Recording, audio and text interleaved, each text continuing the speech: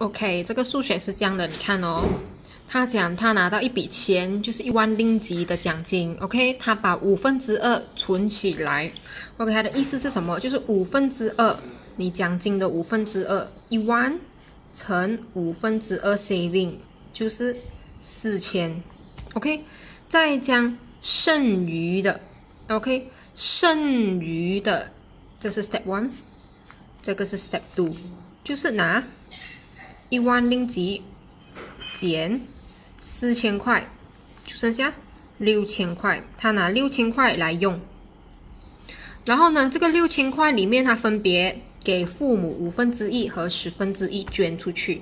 所以他这边问给父母多少钱，就是这个所谓的五分之一。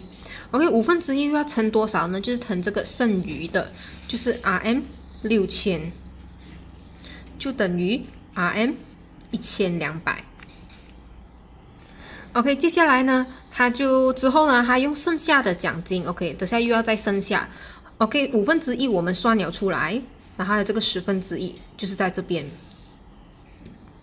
在下面这边，OK，就是这个十分之一在这边用，这个十分之一又是用这个剩余，然后的的十分之一，就是这个乘。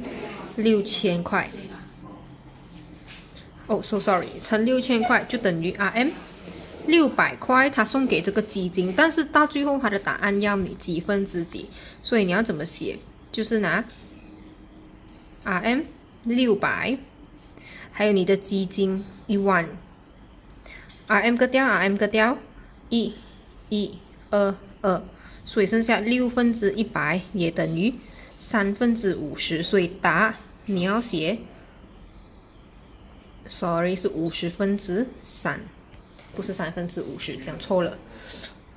OK，接下来呢，他就问你带多少钱去旅游？OK，多少钱旅游就是上面这边看到吗？剩余的奖金带家人去旅游就是这一面下面，还余剩下的奖金是多少钱？你还记得吗？我们刚才讲了吗？Four thousand。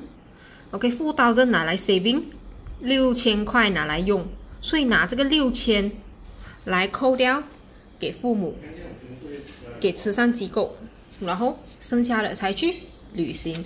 所以六千扣掉千二，再扣掉六百，答案是四千两百，四千两百去旅游，所以。这是第六题的 explanation，thank you。